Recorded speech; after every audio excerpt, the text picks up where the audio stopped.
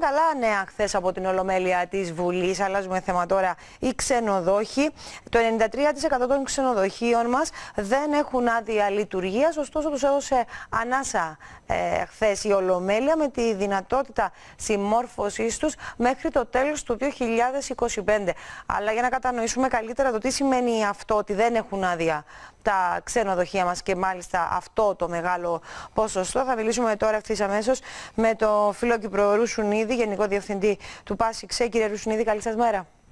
Καλημέρα και στις και στους τηλεθεατές σας. Θα ξεκινήσω πρώτα με το να εξηγήσουμε το τι σημαίνει αυτός ο μεγάλος αριθμός όταν λέμε χωρίς άδεια τα ξενοδοχεία του νησιού μας. Μάλιστα. Ε, απλά να ενημερώσουμε ότι έχουν προσωρινή άδεια λειτουργίας η οποία εκδίδεται από το αρμόδιο Υφυπουργείο Τουρισμού εδώ και ε, κάποια χρόνια. Ε, η προσωρινή άδεια εκδόθηκε λόγω του ότι το 2013 και μετά τα γεγονότα ε, στην οικονομική σφαίρα του νησιού μας είχε αποφασιστεί να δοθούν κάποια κίνητρα στην βιομηχανία ούτως ώστε να ενισχυθεί και να βοηθήσει προς την ανάκαμψη και την ανάπτυξη της οικονομίας όπως μας είχαν υποδείξει και τότε η Τρόικα και οι άλλοι φορείς που επισκέπτονταν το νησί μας. Από εκεί και πέρα προχώρησαν αρκετοί ξενοδόχοι, έκαναν ε, βελτιώσεις στις οικοδομές, ενισχύσεις στον αριθμό των κλινών ε, και άλλες βελτιώσεις. Και από εκεί και πέρα τους δόθηκε ένα χρονικό περιθώριο ούτως ώστε να καταθέσουν τα νέα σχέδια ε, με, με τις νέες αρχιτεκτονικές δομές εν πάση περιπτώσει, στις διάφορες αρχές στην πολεοδομία και να προσπαθήσουν να εξασφαλίσουν τα κατάλληλα πιστοποιητικά, τις κατάλληλες άδειες, ούτως ώστε μετά να δικαιούνται να βγάλουν την άδεια από το Υφυπουργείο Τουρισμού. Ε, δυστυχώς ήρθε και η πανδημία ήταν μια διετία νεκρή θα έλεγα και για την βιομηχανία αλλά και για τις δημόσιες υπηρεσίες και ε, έτσι έχει, είχε λήξει αυτή η προθεσμία. Οπότε εμείς είχαμε ζητήσει μια παράταση αυτής της προθεσμίας ούτως ώστε να γίνουν όλα αυτά διότι είναι χρονοβόρες διαδικασίες δυστυχώς ναι. δεν είναι κάτι που μπορεί να γίνει σε ένα-δύο μήνες ε, φανταστείτε τώρα 600 και δόσες πλέον ξενοδοχειακές μονάδες και τουριστικά καταλήμματα ε, όταν και εφόσον θα αιτηθούν για τελική έγκριση και να πάρουν όλα τα πιστοποιητικά που δεν είναι ένα. Είναι για παράδειγμα υγειονομικό πιστοποιητικό, βεβαίως η κολυμβητικής δεξαμενής, ε, ε, έκθεση ελέγχου ανελκυστήρων, άδεια αποθήκευσης πετρελοειδών, ε, πυρασφάλεια και ούτω καθεξής. Είναι κοντά στις 25 άδειες. Ναι, αλλά αυτή τη στιγμή ε, τα ξενοδοχεία μας δεν έχουν τον έλεγχο όσον αφορά αυτά που αναφέρεται. Πρέπει να νιώθει ανασφάλεια ο κόσμος που πάει στα ξενοδοχεία. Όχι στην... αγαπητή Γαβριέλα, θέλω να είμαι έντονος και κάθετος σε αυτόν και φυσικά έχουν τον έλεγχο και έτσι λειτουργούν τα, τόσα χρόνια. Α, υπάρχει και η ευθύνη του ίδιου του επιχειρηματία προς αυτή την κατεύθυνση και να είστε σίγουροι ότι ε, καταρχάς, ε, επειδή είναι γνωστό ότι ένα μεγάλο μέρος της τουριστικής βιομηχανίας ε, συνεργάζεται με μεγάλους ε, ταξιδιωτικούς πράκτορες από το εξωτερικό, έχουν και ήδη τα δικά τους στάνταρτ όσον αφορά τα θέματα υγιεινής και ασφάλειας. Το είδαμε και κατά τη διάρκεια του κορονοϊού ότι το ξενοδοχείο αποτελούσε ένα ασφαλές κατάλημα για μια οικογένεια να κάνει τις διακοπές του, τηρώντας όλα τα μέτρα, τα πρωτόκολλα και το καθεξής. Οπότε σε αυτό δεν τίθεται θέμα. Ε, απλά είναι χρονοβόρες οι διαδικασίες ούτως ώστε να εξασφαλιστούν οι άδειες μετά και τις βελτιώσεις που έγιναν. Ε, να θυμίσουμε επίσης ότι η πλειοψηφία των ψηφιακών μας μονάδων είναι κτισμένες στη δεκαετία του 80 και 90. Ναι.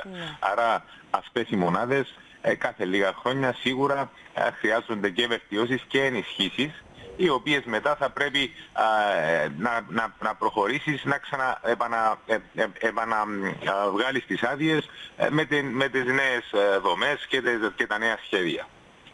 Είναι πάρα πολύ σημαντικό να γίνεται γιατί ακούγοντας, ακούγοντας οι πολίτες και ότι δεν έχουν άδειες λειτουργίας φαντάζονται το ότι χειρότερο και αυτό είναι λάθος γιατί ξεκινά, ξεκίνησε ουσιαστικά η, περίοδος, η τουριστική περίοδος και αυτό μας κάνει ζημιά και όσον αφορά τα δημοσιεύματα αυτά στο εξωτερικό και τους τουρίστες που επιθυμούν να έρθουν στο νησί μας. Σίγουρα ε, δεν τίθεται θέμα όμως ξαναλέω και θέλω να είμαι ξεκάθαρος, ε, δεν υπάρχει οποιοδήποτε θέμα στην ε, ασφάλειας οι υγιεινείς στις ξεναγές μας μονάδες. Απλά ξαναλέω το θέμα είναι στην ουσία τυπικό κατόπιν των βελτιώσεων και των ενισχύσεων που θα πρέπει να επανεκδοθούν οι συγκεκριμένες άδειες με τα νέα σχέδια. Ε, από εκεί και πέρα η ξενοδοχειακή βιομηχανία λειτουργεί απρόσκοπτα. Έχουμε μπροστά μας μια εξίσου δύσκολη χρονιά όπως τις προηγούμενες, μια χρονιά όπου θα ξαναδοκιμαστεί η τουριστική μας βιομηχανία και ευελπιστούμε ότι θα δείξει και πάλι την ανθεκτικότητά της. 268 ξενοδοχεία στην Κύπρο με δυναμικότητα 30.493 δωμάτια ε, και 62.340 κλίνες. Ένας μεγάλος αριθμός ε, που μπορεί να υποδεχθεί τουρίστες η Κύπρος. Έχουμε την ελπίδα ότι όλα αυτά θα γεμίσουν ξανά και ξανά τη φετινή τουριστική περίοδο, κύριε Ρουσουνίδη; Κοιτάξτε, φέτος δυστυχώς φαίνεται ότι αυτή τη στιγμή, φωτογραφίζοντας την ημέρα βέβαια, ε, υπάρχει μια συρρήκνωση πέριξ του 10%. Ε, αναλόγως του πώς θα διαγυμανθούν διάφοροι άλλοι ασταθμητοί παράγοντες όπως οι γεωπολιτικές εξελίξεις στην γύρω περιοχή, η οικονομική ύφεση στην Μεγάλη Βρετανία και σε χώρες της κεντρικής Ευρώπης από όπου αντλούμε ε, τουριστική ροή τα τελευταία χρόνια ε, και έχει καλυφθεί ε, ένα μεγάλο μέρος του κενού που άφησε πίσω της η ρωσική αγορά. Ε, θα δούμε σε, εάν θα καταλήξουμε πιο κοντά στο 23 ή πιο κοντά στο 22 όσον αφορά τουλάχιστον τα νούμερα. Ε, από εκεί και πέρα εμείς ε, αξιολογούμε την κατάσταση επί καθημερινής βάσεως ε, και θα προσπαθήσουμε να κάνουμε ό,τι καλύτερο με πρώτο στόχο όπως έχουμε θέσει άλλωστε από την αρχή της χρονιάς να φτάσουμε όσο πιο κοντά στο 2023. Θα ήθελα να σας ρωτήσω όσον αφορά τα πεντάστερα, τετράστερα, τριάστερα, μετράμε αστέρια αρκετά ε, όσον αφορά τα ξενοδοχεία μας. Τηρούμε όλα όσα προνοούν ε, στην Κύπρο για τα, αυτά τα αστέρια, κύριε Ρουσουνίδη, και προσφέρουμε αυτές τις ανέσεις; Κοιτάξτε, η, η κατηγοριοποίηση των ξενοδοχείων ε, άπτεται κυρίως όσον αφορά των ξενοδοχειακών εγκαταστάσεων αλλά και των υπηρεσιών ε, που προσφέρονται ή δύναται να προσφέρονται σε μία μονάδα. Ε, από εκεί και πέρα θεωρώ ότι η συντριπτική πλειοψηφία, τουλάχιστον αν όχι όλα τα ξενοδοχειακά καταλήμματα, προσφέρουν τις υπηρεσίες τις οποίες ε, δίδουν και στον πελάτη σαν επιλογή και εξού και νομίζω Έχουμε λάβει αρκετά εγκομιαστικά σχόλια από τους τουριστικούς μας εταίρους από το εξωτερικό όσον αφορά την ποιότητα των εγκαταστάσεων, αλλά σε πολλές περιπτώσεις και τις προσφερόμενες υπηρεσίες. Θα έπρεπε ίσως να επαναξιολογούνται τα ξενοδοχεία όταν παίρνουν κάποια αστέρια έτσι ώστε να έχουν έγνοια ιδιοκτήτες αν θέλετε για να βελτιώνονται.